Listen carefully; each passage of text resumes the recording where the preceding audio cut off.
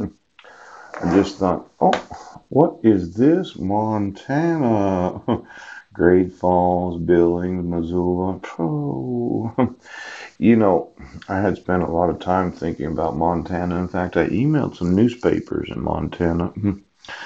Does Kathy Best, the former editor of the Seattle Times, still live in Montana? Because when I had contacted the Seattle Times about my rights being violated, I thought that Kathy wanted to take over all the small local newspapers. Jeannette Rankin of Missoula was the first woman to serve in the United States Congress. Mm-hmm. Mm-hmm.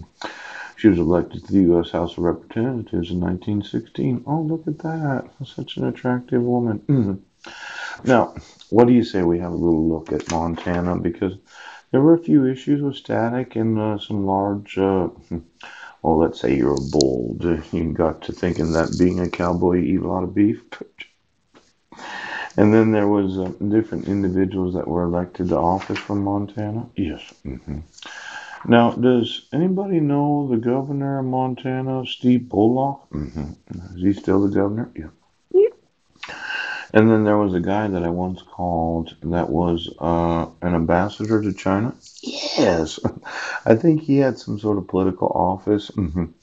Now, um, I've been trying to communicate with those in office about the need for them to actually. Oh, well, call Kathy Best. Well, now, um, there's a constitution went into effect in 1973. Mm-hmm, mm-hmm. Uh, I think I read part of that, and the well, why don't you get me all the individuals that live in Montana? And how many of those elected to office know about the fraud on the court and the fraud of the state? And they thought, oh, most of the state's 56 counties elected commissioners to govern the county. Yeah. A lot of, many of Montana's cities and towns have a mayor council government. Yeah. Mm-hmm. They got any sheriffs in Montana? now, how many sheriffs in Montana like the idea of spending a little time in prison for their. I'm kind of thinking that's where you're going, Sheriff. now, I know out there on the range you thought you were something very significant, but the truth is, if you know the crime, you're going to do the time. And I, Montana's gas, oil, and coal industries expanded rapidly in the 1970s.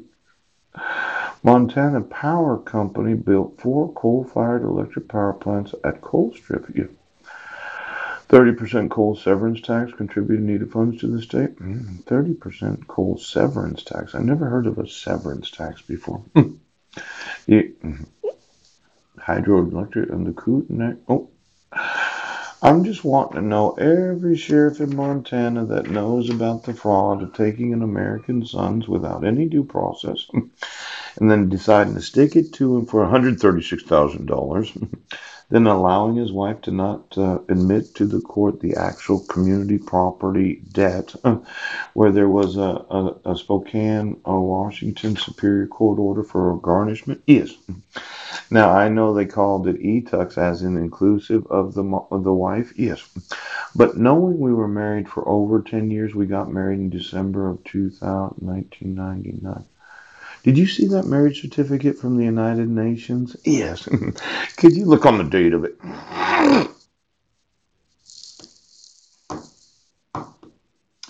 You know, I'm I'm gonna want this date for myself. And uh, I'm going to want to know uh, how many persons that are oaths, badges, and attorneys know about the fraud on the court and the fraud of the state, and then the refusal to support and defend the Constitution of the United States. Because I'll sue every fucking oath of office in Montana. So why don't you go through and get me all the employees of Montana that know about this crime? Ooh. And then all of them thought they were big old cowboys out there, but the truth of the matter is they're just American citizens. Every one of them can go to prison just like you can. They thought that they were exempt from prosecution for allowing sheriffs to cause bad things to happen to good people. Pooch. Now, this is the moon. Yes, it is. hmm You know, there was a time that I wanted to know every possible way that you could. Oh, look at the shortest distance from Earth is only 225,740 miles.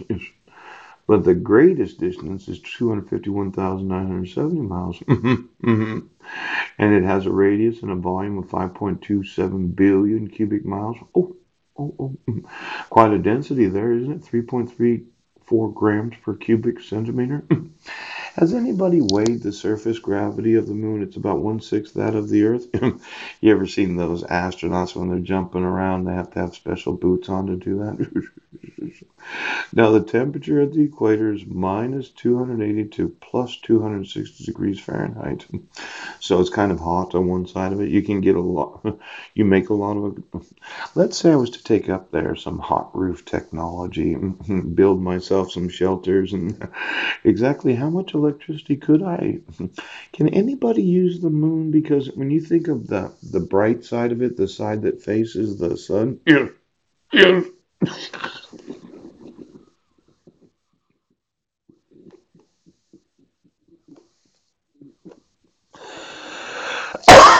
It's really not that far away, is it?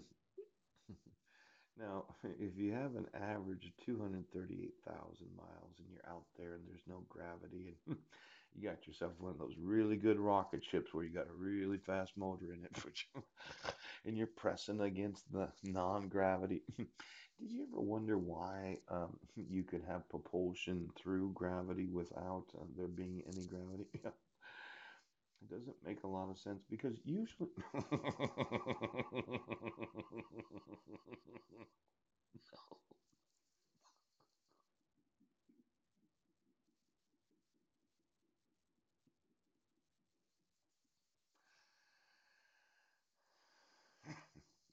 See, in atmosphere, right, you can push against gravity. But uh, it only has one sixth the gravity of Earth. I'd just like to know what is the gravity of, of uh, the moon. When's the last time you tested it? Now, let's say we pointed all the satellites towards the moon and get the hot part, the 260 degrees Fahrenheit,